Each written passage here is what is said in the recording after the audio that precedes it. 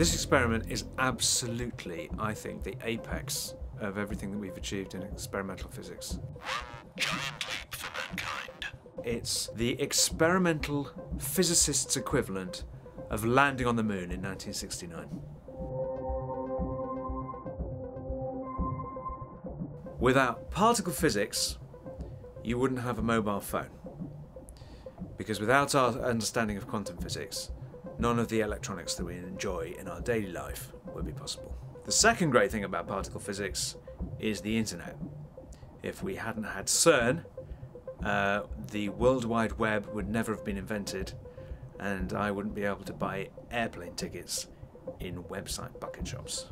The third great thing about particle physics is the most important of all, and that particle physics represents, for me, in a poetic way, mankind's attempt to understand the universe.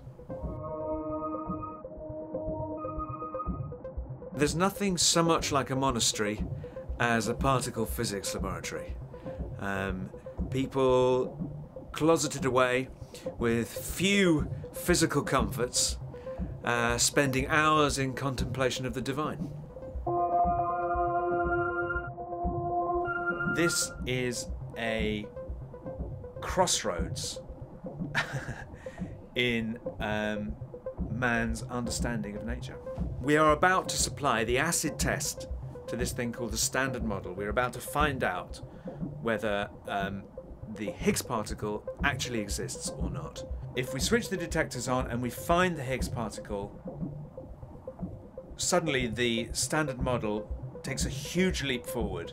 And if it exists, we're in a whole new realm of physics. If it doesn't exist, we're in a whole new realm of physics.